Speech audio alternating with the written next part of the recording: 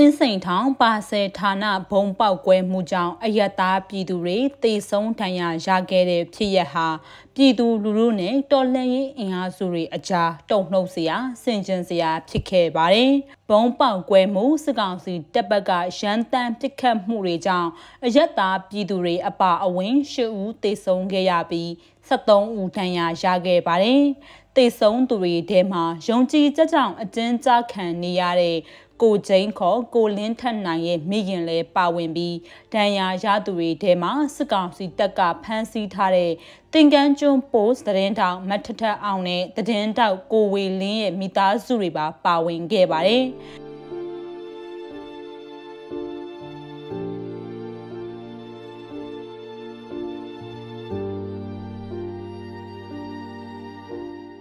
အင်းစိန်ထောင်မှာနိုင်ငံရေးအကျဉ်းသားများစွာရှိနေပြီးသူတို့အတွက်ထောင်ဝင်စာပို့သူတွေ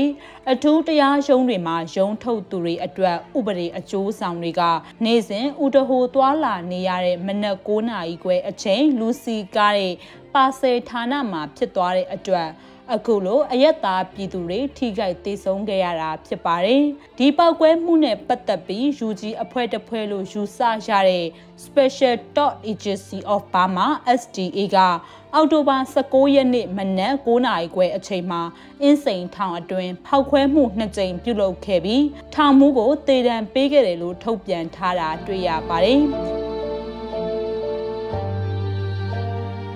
တော်လန်ရေးအင်အားစုတွေဘက်ကလည်းဒီကိစ္စကိုဘယ်အဖွဲ့အစည်းကပဲလှုပ်လှုပ်ရှုံချကြောင်းနဲ့တာဝန်ခံရမှာဖြစ်တဲ့အကြောင်းအသီးသီးထုတ်ပြန်ထားကြပါတယ်။အမျိုးသားညီညွတ်ရေးအစိုးရကတော့ဒီဖြစ်ရပ်နဲ့ပတ်သက်ပြီးစုံစမ်းစစ်ဆေးအရေးယူသွားမယ်လို့ဆိုပါတယ်။ ဘလို့ပဲဖြစ်ဖြစ်စိတ်မကောင်းစရာဖြစ်ရကြီးတစ်ခုကတော့ဖြစ်သွားပါပြီ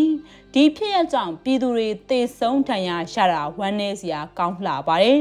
အထူးသဖြင့်တေဆုံးဒဏ်ရာရသူတွေဟာစစ်ကောင်စီရဲ့အကျဉ်းချခံနေရတဲ့နိုင်ငံရေးအကျဉ်းသားတွေရဲ့မိသားစုဝင်တွေဖြစ်နေတာကပိုပြီးစိတ်ထိခိုက်စရာကောင်းလှပါတယ်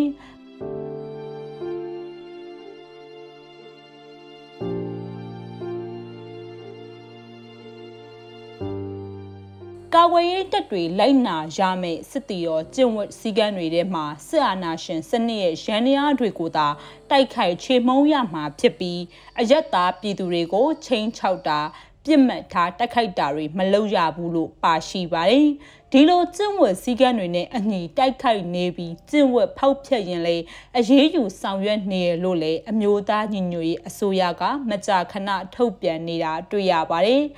ဘုံထောင်ခဲ့တယ်လို့ထုတ်ပြန်ထားတဲ့ STA အဖွဲ့ဟာတိုးတိတ်ပြီးတခြားအဖွဲ့တွေနဲ့အဆက်အဆံမရှိသလောက်နဲတယ်လို့မြေရောက်ကာကွယ်ရေးတပ်ဖွဲ့ဝင်တအုပ်ကဆိုထားပါတယ်။ STA အဖွဲ့အနေနဲ့အကြမ်းဖက်စစ်ကောင်စီကိုတကယ်ပဲကိုနီကိုဟန်နဲ့တွန်းလှန်တိုက်ခိုက်နေတဲ့အဖွဲ့ဆိုရင်ဒီဖြစ်ရကြီးကသင်ငန်းစာယူရမှာပါ။နောက်ပြီးအင်းစိန်ထောင်ထဲမှာနိုင်ငံရေးအကျဉ်းသားများစွာရှိနေပါတယ်။ ဒီဖြစ်ရကြောင့်အယက်သားပြည်သူတွေတေဆုံးဒဏ်ရာရယုံမက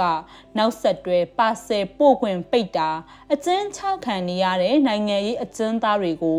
ဖိနှိမ်နှင်းစေတာမျိုးတွေလှုပ်လာနိုင်ပါတယ်။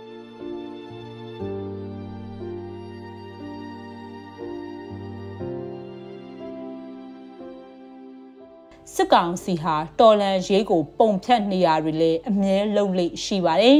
PDF နဲ့ NUG ဟာအကြမ်းဖက်အဖွဲ့အစည်းဖြစ်တယ်လို့ဝါဒဖြန့်နေတာအများပြည်သူအသိပဲဖြစ်ပါတယ်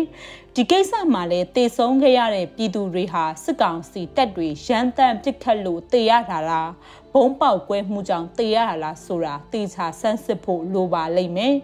တေချာတာကတော့စစ်ကောင်စီဘက်ကကာကွယ်ရေးတပ်တွေရဲ့လက်ချက်နဲ့ဘုံကွဲခဲ့တာကိုပဲဖော်ပြပြီးစစ်ကောင်စီတပ်တွေရန်တမ်းပစ်ခတ်တာကိုခြံလှက်ထားမှအသေးအချာပါပဲ